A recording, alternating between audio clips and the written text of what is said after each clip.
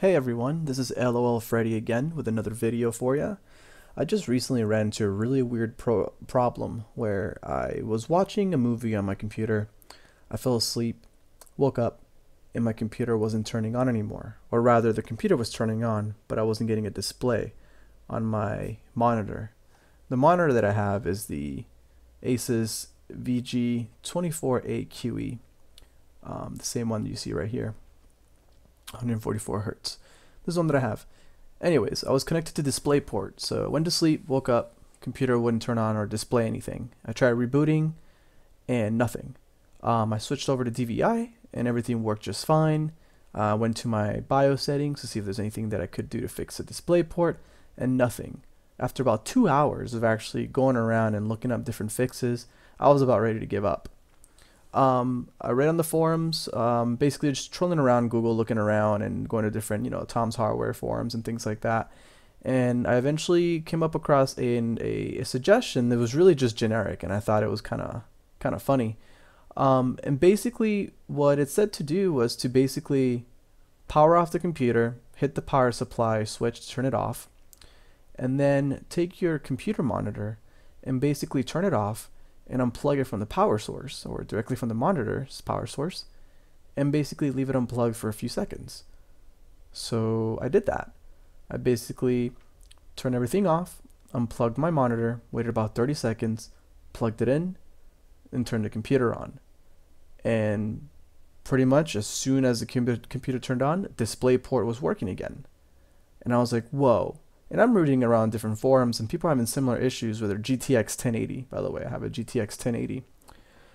And I was amazed at how simple the fix was. I mean, people are going around switching cables, switching, you know, RMA in their graphics cards, and switching all these different settings on their BIOS, flashing their BIOS.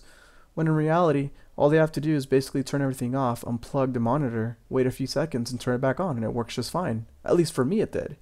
Here I thought it was a cable issue because other people were saying that the cable has to be um, so, uh, type of compliant for it to work and, and all these different things. And I was like, but it was working just fine. Why would it be the cable, you know? And I even tested out with my Lenovo laptop. I plugged in DisplayPort and it worked just fine, but my computer wasn't working anymore. So it had to be basically my monitor retained some settings with the DisplayPort that whenever I turned the computer back on, you know, wake it up from sleep, that it wasn't picking it up anymore and it only worked on DVI. So yeah, um, very easy fix. You basically turn everything off, unplug the monitor, wait 30 seconds, plug it back in, turn the computer on, and boom, your display port is going to work again. And that's what worked for me after about two hours of troubleshooting. Um, just to confirm, basically I have proof here that I'm running on DisplayPort. I'll just open up here, right click on that, open NVIDIA control panel. Um, set up digital audio, as you can see. Um, I have it connected to my display port number 3 because it's a lot easier for me to access from behind the computer. And as you can see, it's got the Ancor Communications Incorporate VG248. This wasn't showing up before at all. And to verify, I basically went here, um, display settings, scroll down to advanced display, scroll down to display adapter properties, and here we go. Same thing. I'm this is me connected to DisplayPort. I actually disconnected my DVI port. The only thing I have plugged in right now is DisplayPort. And sure enough, check it out. You know, it's it's picked up. It's it's basically um, showing a signal. Um, I'm running 144 hertz, so everything is working as intended.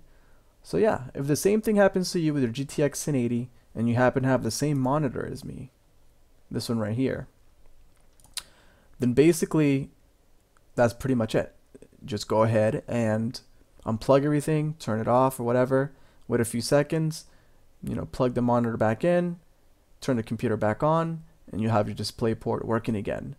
So if you've done the troubleshooting for like two plus hours like I did, and you happen to run across this video, awesome. If not, try to share it, you know, um, spread the word so people know.